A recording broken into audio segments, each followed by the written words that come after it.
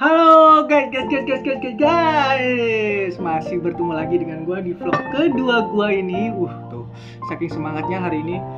Kemarin banyak request banget kak, jalan-jalan dong keluar kota kak, buat vlog ke daerah ini dong, ke daerah itu.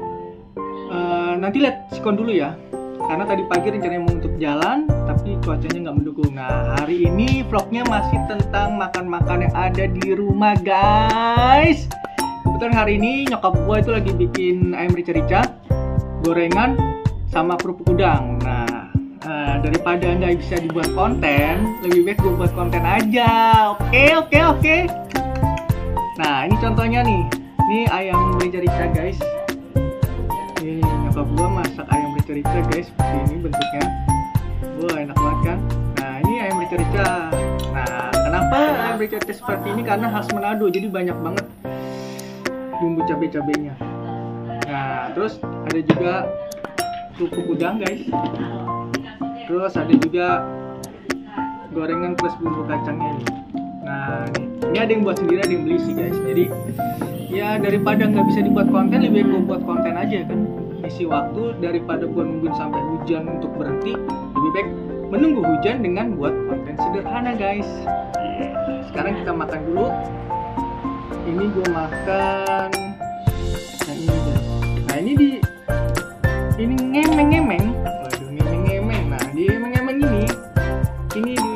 ayam rica rica ini bumbunya kalau nggak salah itu yang pasti ayam dong. Yang pasti ayam terus ada kemanginya dicampur dengan ka- dengan cabai terus ada bawang bombaynya juga.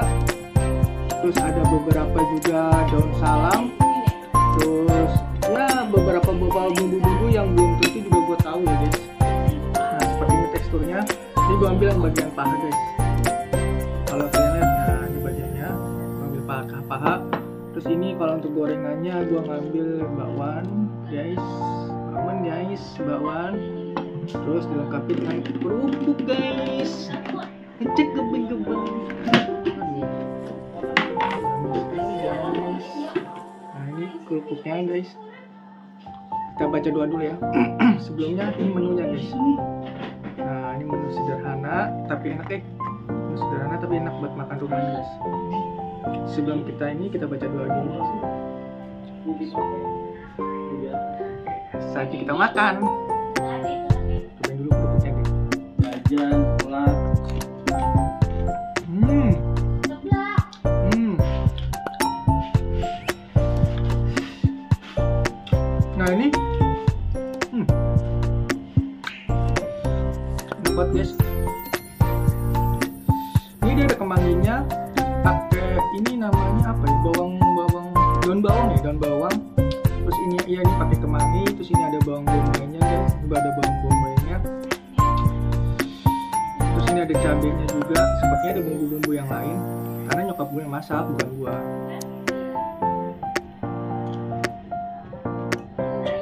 Nah, ini uh, bakwan guys, bikin sendiri bakwan jagung. Dan ini pasti rasanya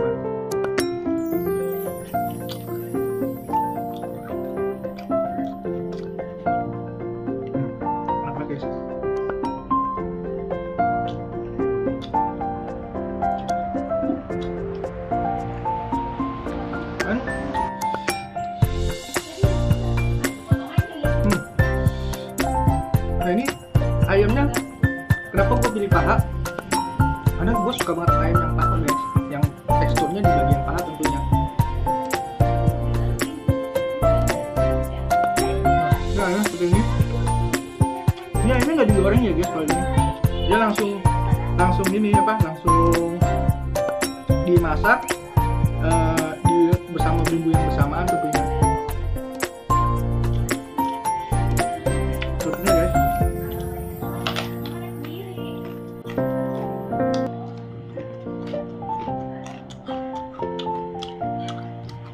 Gue nambah dulu. Ini ada daun jeruknya juga untuk menghilangkan rasa amis ya di ayamnya. Jadi dia pakai daun jeruk juga, kemangi juga. Tentunya pakai sambal ya guys karena ayam rica-rica. Terus ada bumbu rempah, daun bawang juga. Ayamnya empuk banget nih. Ayamnya empuk banget. teksturnya yang empuk karena digodok bersamaan.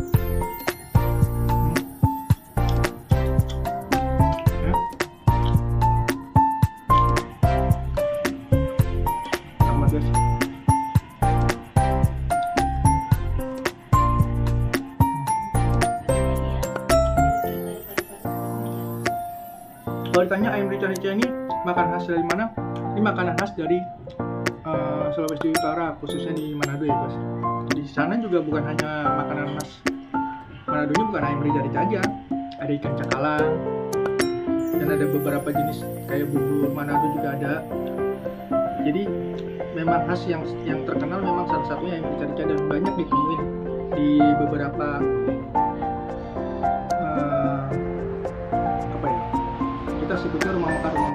Jakarta tentunya.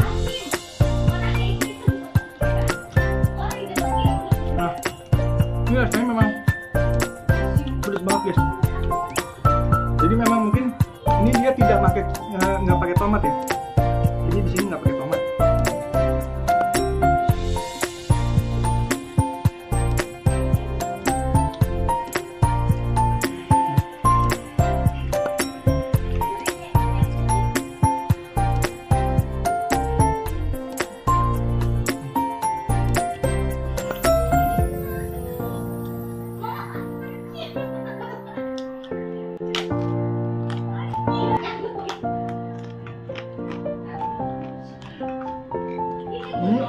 Bener-bener enak banget guys. Jadi jadi memang tekstur ini tuh bener-bener enak banget ya.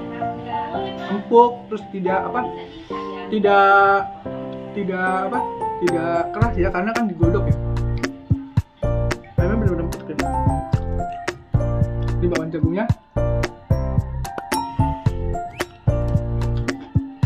Tapi ini bawang jagungnya isi sayur ya guys, bukan isi jagung kalau di beberapa daerah disebutnya audio audio audio audio atau gitu. Ya kepulangnya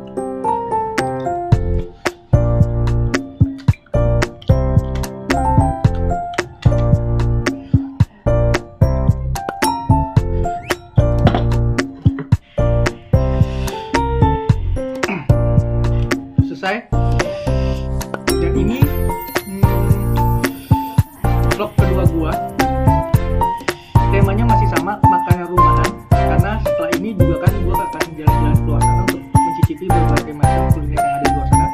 Tapi karena situasinya tidak mungkin kan? Eh, karena situasi tidak mungkin kan otomatis yang ada di rumah itu gue jadi sampai jumpa di vlog-vlog selanjutnya guys. Jangan lupa untuk di subscribe like komen dan share. Karena apa? Siapa tahu kan nanti eh, uh, gue akan berkunjung ke tempat buat kalian. Kalau nggak kalian support siapa lagi? Bye bye